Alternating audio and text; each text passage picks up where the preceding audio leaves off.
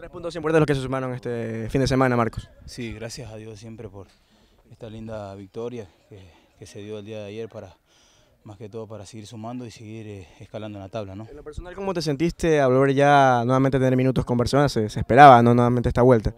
Sí, sí, yo sabía que era muy difícil. Bueno, y, y después de mi recuperación, en los minutos que me dio el profe, dar lo mejor para, para la institución, siempre como, como cristiano, darle la gloria a Dios siempre. Bueno, más que todo está eh, mi, mi, mamá ayer y, y, eso motiva también mucho, ¿no? Estaba complejo el partido, Marquito, entró bien a destrabarlo ahí. Sí, sí, duro. El Independiente es un rival que juega muy bien fuera y dentro de casa, pero nosotros siempre queremos lo mejor para la institución, para la hinchada y, y bueno, lo, lo, lo, lindo es eh, de sumar de a tres. Ahora se viene el partido ante Estudiantes de La Plata, ¿cómo visualizan el cotejo? Ustedes están comandando el grupo. Sí, es muy difícil, sabemos que tenemos que seguir poniendo los pies sobre la tierra con mucha humildad y bueno, un partido muy duro eh, el que se va a jugar el jueves, pero vamos a dar lo mejor de nosotros para, para seguir sumando a tres también. ¿Con ganas de quedarse en Barcelona, Marquito? Sí, con muchas ganas de quedarse en Barcelona y bueno, yo soy una persona que estoy dispuesta a dar lo mejor donde, donde vaya. Si me tengo que quedar en Barcelona, voy a, dar, voy a seguir dando lo mejor. ¿Qué se ha conversado con los directivos hasta el momento, Marcos, sobre el tema de su contrato?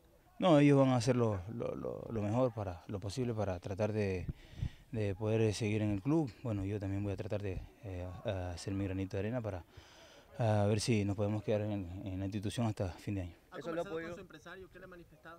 Bueno, este, he hablado poco con él, eh, bueno, yo más que todo he hablado muy poco y en los mexicanos sin, sin duda no, no he hablado nada, pero bueno, este, vamos a ver si cuando ellos lo comuniquen a uno, a tratar de hablar con ellos también. Hay una sana disputa por el puesto, ¿no? Con José y usted, buena competitividad que hay.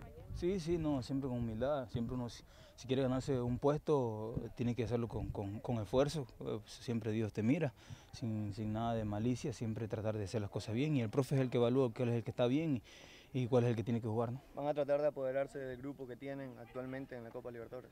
Sí, vamos a, a tratar, como yo lo dije hace un rato, con mucha humildad, a dar lo mejor en el campo de juego para seguir eh, sumando de a tres, que es lo más importante. ¿Cómo toman esta seguida de partidos, teniendo en cuenta que partidos diferidos muchos no han tenido, solo contra Liga de Quito nada más?